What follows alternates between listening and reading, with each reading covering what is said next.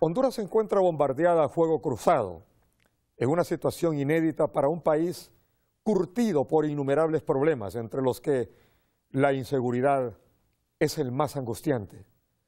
Y sin embargo es curioso que los líderes del país se dejen tumbar por el esquema de la vieja política tradicional, que prefiere las controversias y el traqueteo, mientras se deja de lado lo más peligroso e ingente que es buscar la salida al desastre que nos viene produciendo la ola criminal que amenaza con liquidar a nuestro país.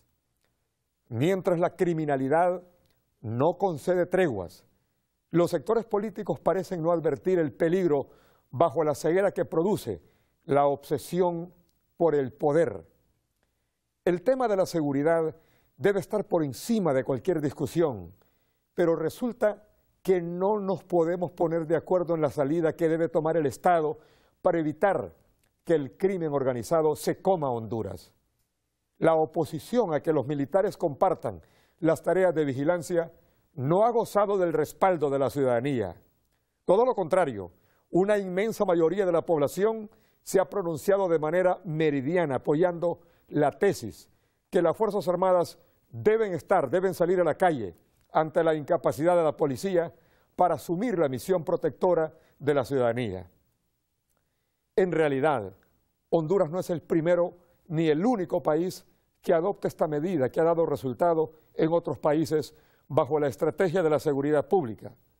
Tanto Colombia como México han adoptado un programa nacional de seguridad pública, usando el ejército en las calles para complementar las tareas que la policía no ha podido realizar. La propuesta de crear un cuerpo policial militar entra en la concepción de estos estados que han experimentado con este nuevo cuerpo una policía militar que esté bajo la responsabilidad de las Fuerzas Armadas, con una disciplina distinta a la formación tradicional de la milicia. Se trata de un cuerpo de elementos entrenados para salvaguardar la seguridad de los ciudadanos, pero a la vez con un entrenamiento más amplio que incluye la disciplina militar. La idea podría generar la duda sobre si la creación de una policía militar viene a debilitar a la Policía Nacional. Pero estar viviendo verdaderos momentos de angustia nacional, que no son momentos para caer en dilaciones o rendidos por las dudas, tenemos que situarnos frente a la realidad que el actual cuerpo, policial no será depurado ni regenerado a la vuelta de la esquina. La depuración de la policía es un trabajo lento que tomará muchos años, pero mientras eso sucede, la ciudadanía no puede quedar indefensa frente al avance criminal que camina a pasos agigantados. El proceso de la depuración policial, al paso que marcha, estará sumido en un largo periodo en que deberá atravesar las discusiones bizantinas de los sectores de la sociedad que reclaman su cuota de participación en los debates y que hacen imposible una toma de decisión inmediata. La urgencia merita que las autoridades en cuyas manos está tomar las decisiones urgentes eviten el desplome total de la nación, que nunca como ahora ha estado a punto de sucumbir frente al avance de la criminalidad. El debate alrededor del tema es saludable, pero a la vez es obligatorio para las autoridades tomar la decisión para evitar la hegemonía de la criminalidad sobre el resto de la sociedad hondureña.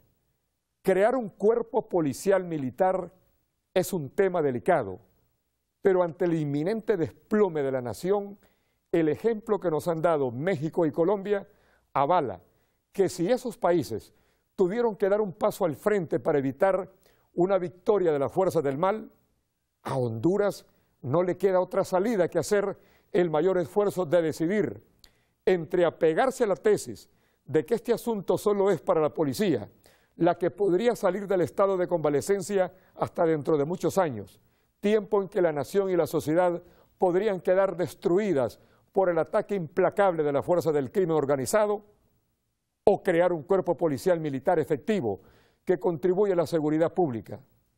Mientras las fuerzas del mal avanzan con el poder destructivo de un tsunami, la policía permanece endeble por las causas que todos conocemos.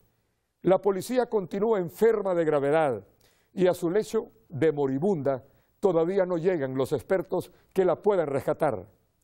Mientras esto sucede, que puede tardar muchos años, la población no puede quedar indefensa por la indecisión. El gobierno, el Congreso, a quien corresponda, debe actuar. Si la policía militar ha contribuido a contrarrestar la avalancha criminal en otros países, en Honduras no podría resultar al revés. La única guerra que tenemos a la vista es la que el Estado libra contra el crimen organizado. No reconocer que en esta guerra el crimen organizado está ganando la partida es un gravísimo error que nos puede costar la pérdida de nuestro país. Así son las cosas y así se las hemos contado hoy, viernes 9 de agosto del 2013. Buenas noches.